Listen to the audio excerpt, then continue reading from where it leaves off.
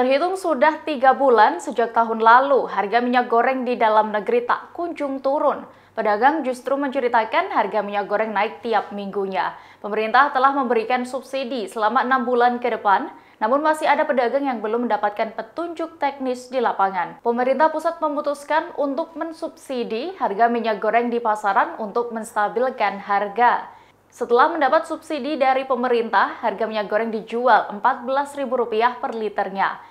Kementerian Perdagangan mengklaim minyak goreng subsidi ini akan segera beredar di masyarakat. Direktur Jenderal Perdagangan Dalam Negeri Kementerian Perdagangan, Oke Nurwan mengatakan harga itu akan berlaku selama enam bulan ke depan. Menurutnya, terkait subsidi ini juga bisa diperpanjang atau ditambah jika harga minyak goreng masih mahal. Disebut akan dikucurkan subsidi pada minggu ini. Sejumlah pedagang, contohnya di Bali, belum mendapatkan instruksi. Dikutip dari tribunbali.com, Kepala Dinas Perindustrian dan Perdagangan Provinsi Bali, Iwayan Jarta memberikan penjelasan. Pihaknya mengaku masih menunggu petunjuk teknis terkait subsidi harga minyak goreng di lapangan.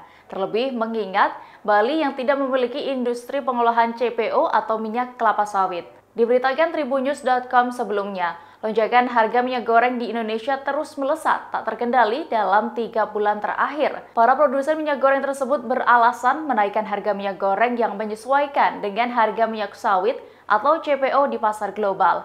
Namun, YLKI menduga ada praktik kartel yang mengendalikan harga minyak goreng di Indonesia yang merupakan pengekspor sawit terbesar dunia.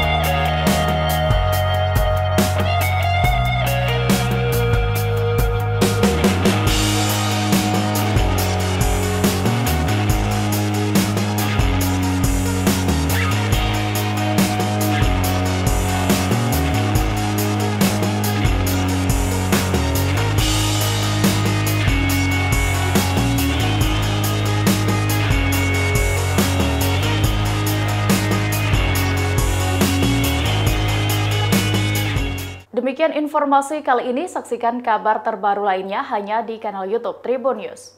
Terima kasih sudah nonton, jangan lupa like, subscribe, dan share ya!